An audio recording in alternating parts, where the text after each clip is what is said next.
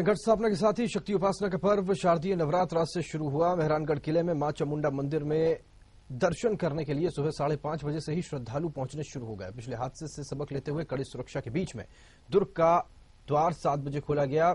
चार साल पहले हुए हादसे के बाद ये पहला मौका था जब युवाओं के साथ महिलाओं में भी इतनी सुबह माँ चामुंडा के दर्शन के प्रति ऐसी श्रद्धा देखी गई।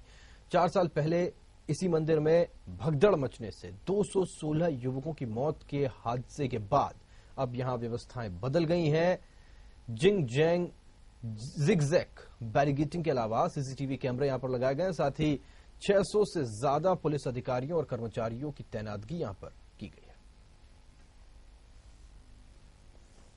चार साल पहले यही वो किला है जो गवाह बना था 216 लोगों की मौत का। और वही नवरात्र का पहला दिन जब घर से हर कोई यहाँ दर्शन करने को आया था और उस वक्त जो भगदड़ मची, उसके बाद में जो हादसा हुआ, सबके सामने है। चार साल बाद अब कहीं जाकर के ऐसे भक्तों की भीड़ उमड़ रही है, जहाँ कहीं न कहीं दर्द नहीं है, खौफ नहीं है और कहीं न कहीं माँ के दर्शन करने का जो जोश है, वो आप देख सकते हैं।